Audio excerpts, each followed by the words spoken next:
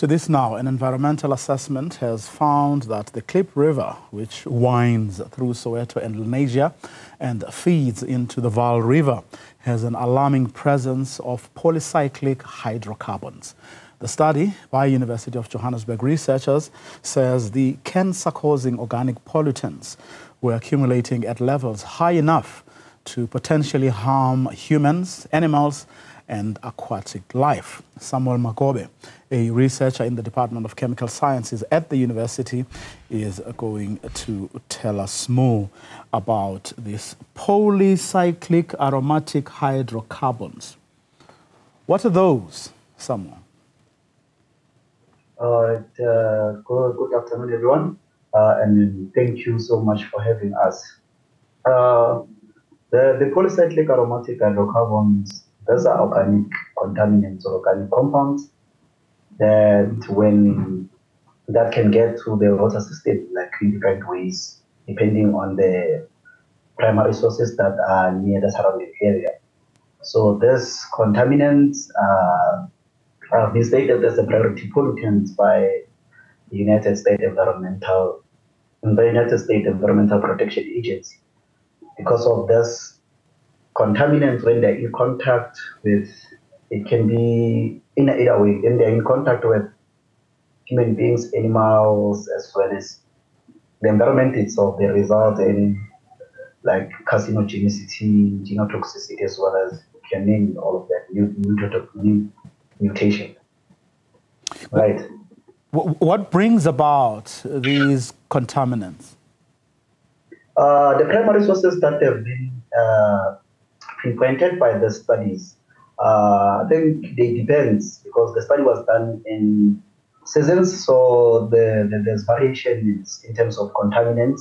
But the, the frequented ones includes the industrial activities that are happening in the vicinity of the river, as well as because that leads to sewage that makes way to the water system.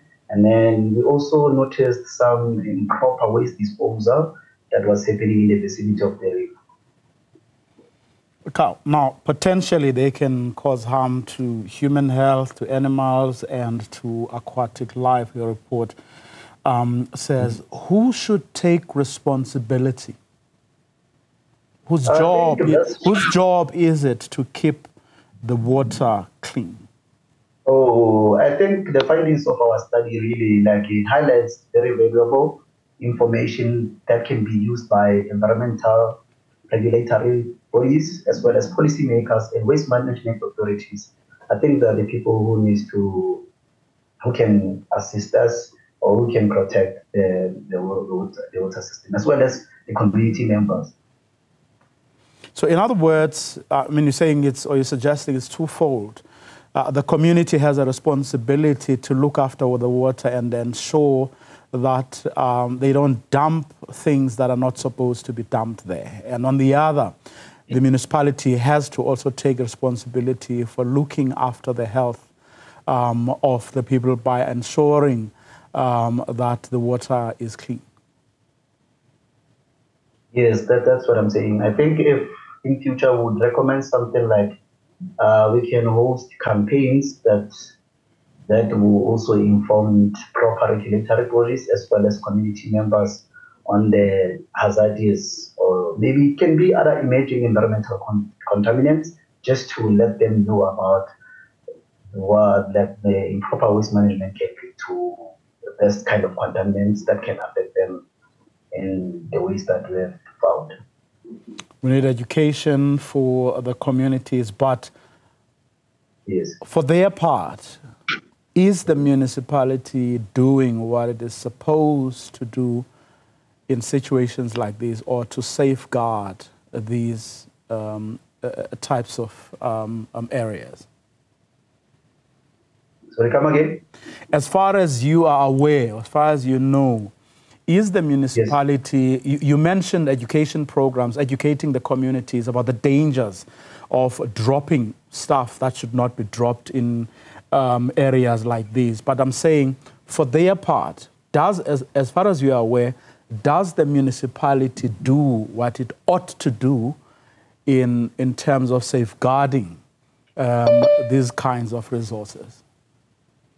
like truly from from the point of view on how these people these people have been handling their waste management, uh, it doesn't anyhow really shows that there's been proper implementations of such campaigns, as well as like maybe we can talk about strategies just to mitigate the pollution, pollution levels in the water system. So basically, we can also like find a way to to to talk to people who are people owners of the industry basically, and and also inform them in proper waste management because I think that's the major problem with regards to a lot of industries that are in the vicinity of the river. That's what I've seen. And then the, if the community were well informed, or maybe I don't know if ever they, they really don't, don't follow the protocols, but I don't think people around the area are well informed with the waste management. And I'm asking uh, that question because, um, according to um, one of your partners in this uh, research, Dr. Ambushe, Dr. Ambushe says, and I quote, these toxins don't just vanish.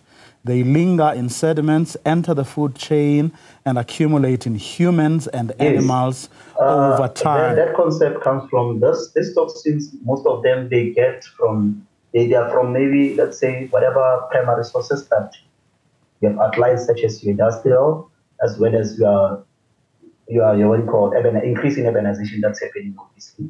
And then what happens is that those pollutants they get inside the water, right? And then they just they don't just move or vanish away. They get to be trapped in the sediment. Hence we did sediment analysis because now the river is gonna be acting as a reservoir of pollutants. In fact, I mean, where, where, where I was going with the question was that if, as um, Professor Ambushe says, these toxins don't just vanish, it then means that someone has to go in there and remove them, do something um, um, about it while your um, research has done well to highlight the problem and its origins, but also its impact or effect on human beings, on aquatic life, uh, and on animals. Someone has to now go and actually do something about the problem you've identified. But it's not a study for the sake of uh, a study.